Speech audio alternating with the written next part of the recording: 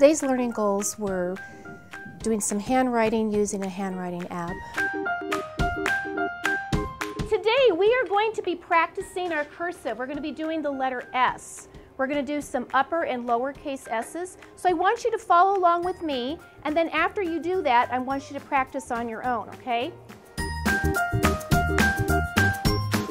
With our handwriting program that we use today, we were not using any paper, and it allowed the kids to expand their handwriting technique um, in a different way. And it's a way that's fun learning for them. We normally use books and paper, and to cut costs, we're doing things that are going paperless. And when I found this handwriting app, it was amazing. It had everything that I was looking for. It was able to be utilized so that I can teach the kids the correct strokes and to not use the paper. And what's amazing is that if there's a mistake, there's no erasing.